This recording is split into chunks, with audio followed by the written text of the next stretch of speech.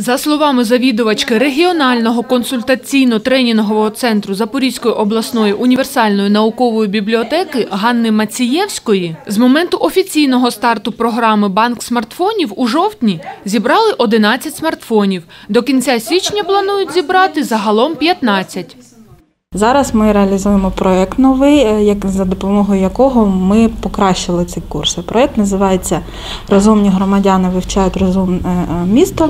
Проєкт реалізується громадською організацією Запорізька бібліотечна асоціація спільно з Запорізькою обласною бібліотекою е, за підтримки ЄСАР єднання. Суть цього проєкту е, ми придбали нове обладнання для того, щоб краще е, надава- ну, проводити курси.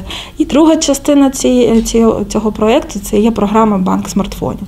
Ми пропонуємо всім, у кого є смартфони у хорошому стані, надати такі смартфони у банк смартфонів.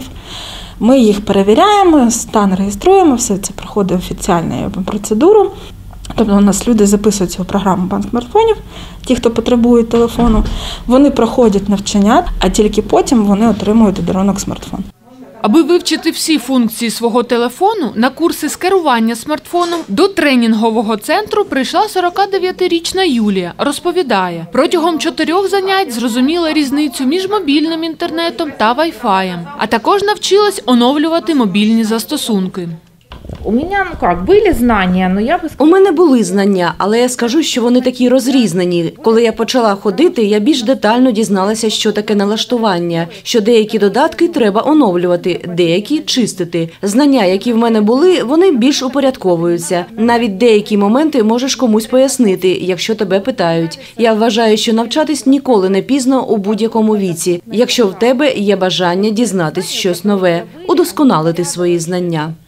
Відвідувачка курсів Людмила Іванівна каже, тепер може дистанційно сплатити за комунальні послуги і свої, і навіть сусідам допомогти.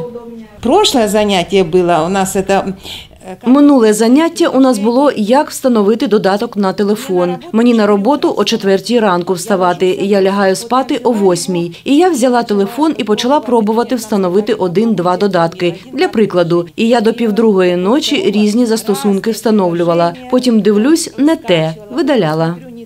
Спочатку слухачі вивчають ази роботи з налаштуваннями, потім як працювати з інтернетом та користуватися месенджерами та мобільним банкінгом, розповідає тренерка курсів із керування смартфоном Ганна Мацієвська. Сама програма це базова, тобто вони починають е, з самого початку, яка кнопка за що відповідає, як налаштувати правильно телефон, болюча тема, як встановлювати програму, як чистити. Потім ми починаємо, починаємо вивчати інтернет, да, як шукати інформацію, як е, взагалі поводитися в інтернеті, безпека. Потім вивчаємо електронні сервіси е, державні, так, е, як записатися до лікаря, як пере там дію ну, ту ж саму, дуже актуально зараз через сертифікати вакцинації і є підтримку.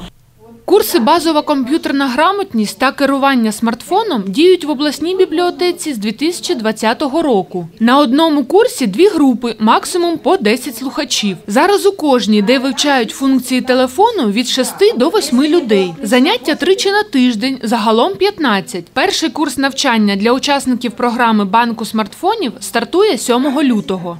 Олена Черкун, Геннадій Корчененков. Новини на Суспільному. Запоріжжя.